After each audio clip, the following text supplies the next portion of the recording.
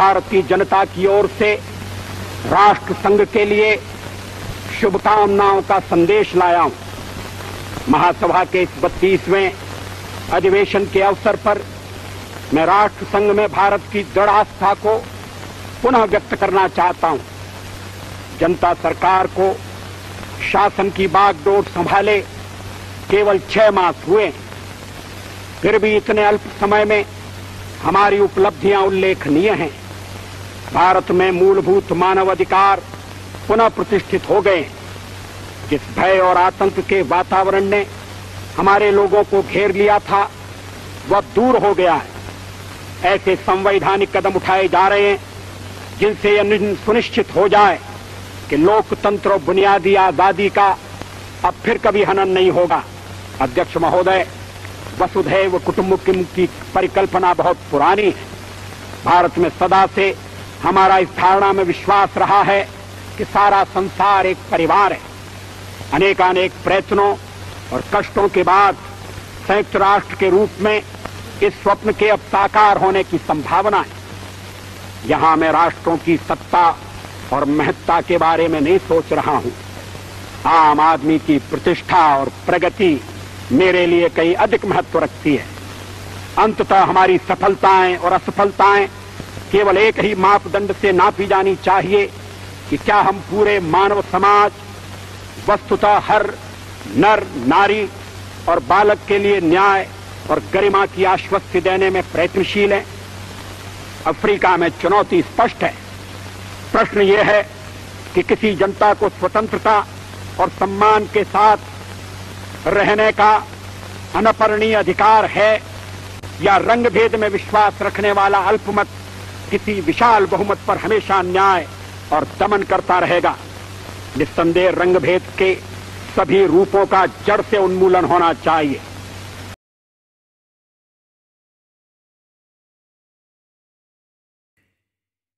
गीत नया गाता हूँ। गीत नया गाता हूँ। टूटे हुए तारों से फूटे वासंती स्वर। पत्थर की छाती में आया नव अंकुर।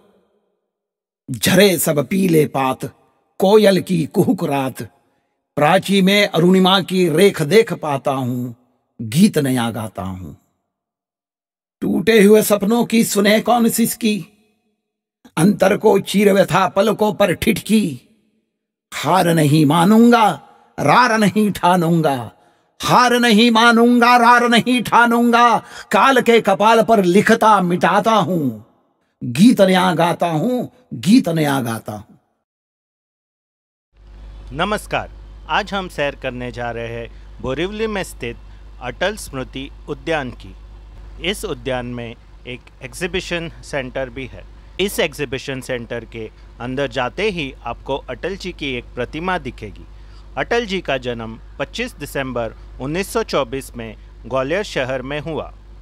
ये भारत के पहले प्रधानमंत्री है, जो कि भारतीय राष्ट्रीय कांग्रेस के ना होते हुए भी अपना कार्यकाल पूरा कर सके। उनके पिताजी श्री कृष्ण बिहारी वाजपेयी ये एक स्कूल टीचर थे। अटल जी ने अपना एमए, डीएवी कॉलेज कानपुर यहाँ से पूरा किया।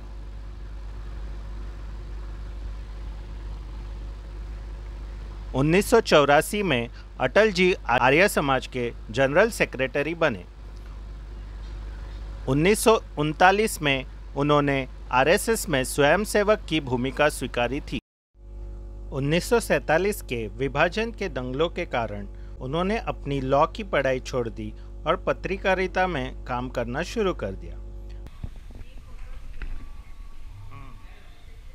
पंडित दीनदयाल उपाध्याय जी के अखबार जैसे कि राष्ट्रधर्म, पंचजन्य और स्वदेश और वीर अर्जुन के लिए वो लिखते थे।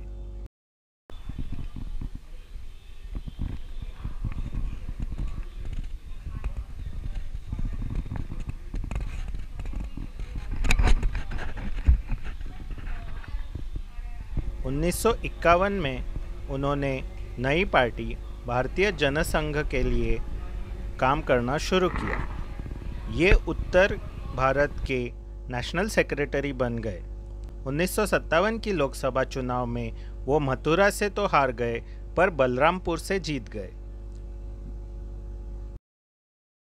Beginning of the political career of Shri Atal ji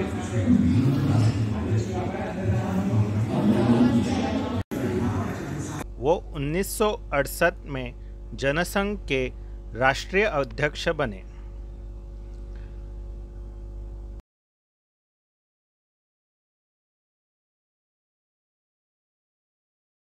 उन्नीस में इंदिरा गांधी जी द्वारा घोषित आपातकाल में उनको अरेस्ट किया गया।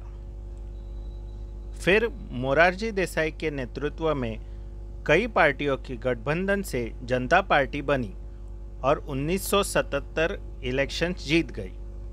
मोरारजी देसाई प्रधानमंत्री बने और अटल जी विदेश मंत्री। इसी दौरान उन्होंने यूएन जनरल असेंबली में हिंदी में स्पीच दी। उन्नीस सौ उनतालीस में जब मोरारजी देसाई और अटल जी ने इस्तीफा दे दिया, तब जनता पार्टी नष्ट हो गई।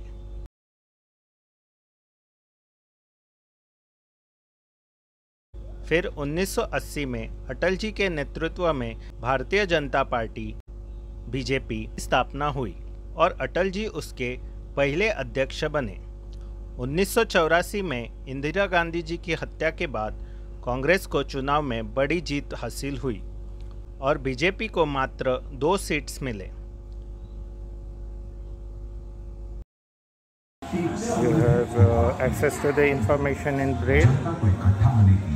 अटल जी कुल कई बार सांसद रह चुके हैं।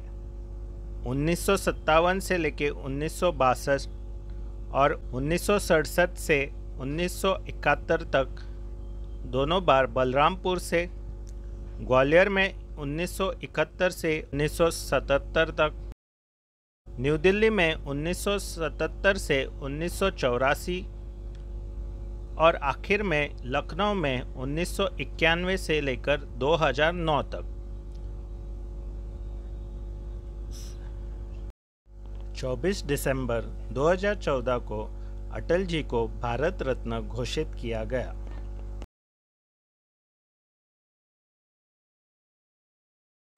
यह इस बूथ पर आपके मनपसंद का अटल जी का कोई भी भाषण आप सुन सकते हो। आपको बस उसे स्वाइप करना है।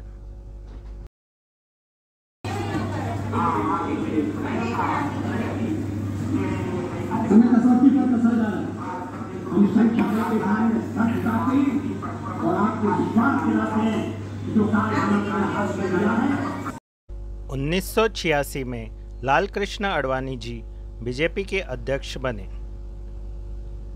उन्नीस सौ नवासी में बीजेपी को छियासी सीट्स मिले और उन्होंने वीपी सिंह की गठबंधन को समर्थन दिया।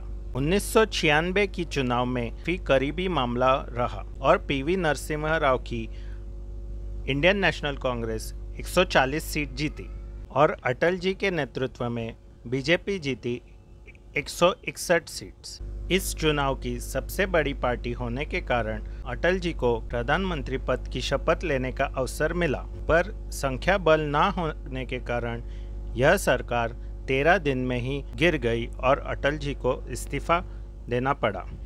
उसके बाद उन्नीस सौ छियानवे और उन्नीस सौ अट्ठानवे में दो यूनाइटेड फ्रंट की सरकारें आई और अस्थिरता में गिर गई। उन्नीस सौ अट्ठानवे में एनडीए का गठबंधन हुआ और बीजेपी के सौ बयासी सीट्स अटल जी फिर प्रधानमंत्री बने। 17 अप्रैल 1999 को जयललिता जी की पार्टी ए आई के ने समर्थन निकालते ही उनकी सरकार तेरह महीनों बाद फिर गिर गई। इस सरकार की सबसे बड़ी सफलता थी जो पाँच अंडरग्राउंड न्यूक्लियर टेस्ट पोखरण में किए गए। इस सरकार के गिरने के बाद उनको केयरटेकर गवर्नमेंट के रूप में अपना प्रधानमंत्री पद जारी रखने मिला। 26 मई 1999 में कारगिल में ऑपरेशन विजय की शुरुआत हो गई। तीन महीनों के इस युद्ध में भारत को शानदार जीत मिली। इस युद्ध के बाद अक्टूबर 1999 के चुनाव में बीजेपी के नेतृत्व में एनडीए पाँच में से 303 सीट्स जीते। और अटल जी इस बार फिर प्रधानमंत्री बन गए। और इस बार अटल जी पूरे पाँच साल तक प्रधानमंत्री रहे। 2003 से इंडिया का जीडीपी सात टक्के से ज़्यादा ही हर साल रहा।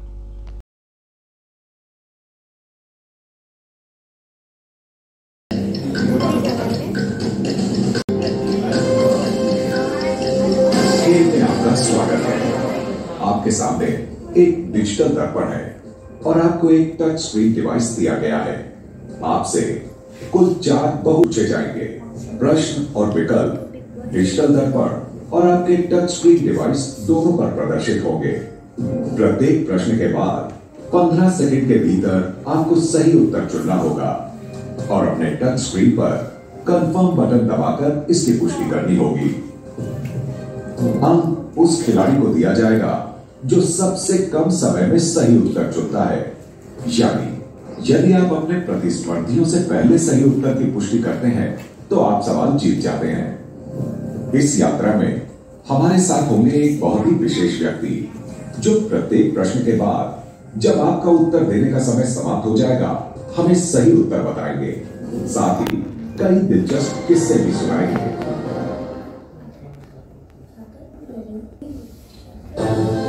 नमस्कार। नमस्कार। आप सभी को मेरी बहुत सारी शुभकामनाएँ।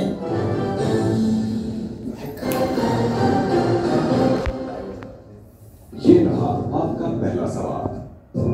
अटल जी का जन्म कहाँ हुआ था? एक इलाहाबाद।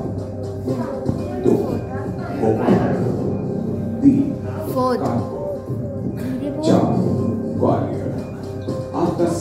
होता है।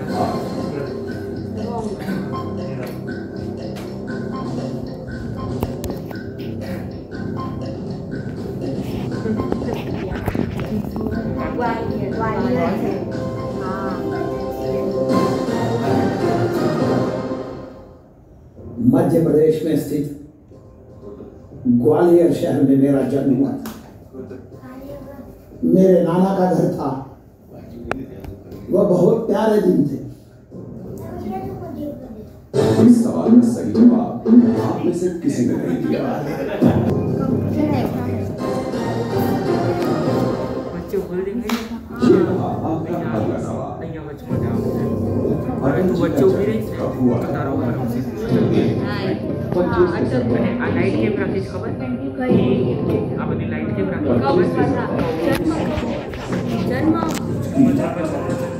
पच्चीस दिसंबर उन्नीस सौ छब्बीस सत्रह मार्च उन्नीस आपका समय शुरू है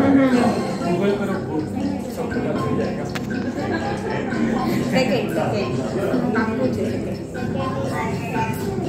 सेकंड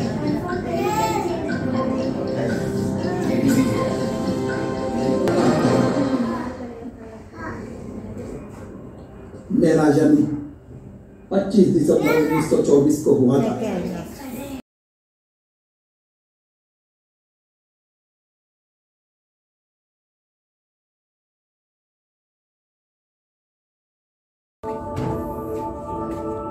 नमस्कार नमस्कार। मेरे प्यारे भाइयों बहनों और बच्चों आप सभी को मेरा सादर प्रणाम। बहुत अरसा हुआ। आपसे यू आमने सामने मिलकर। सन 2005 में सामाजिक जीवन से निवृत्त होने के बाद आपसे मुलाकात हो न सकी थी। बिगड़ती तबीयत।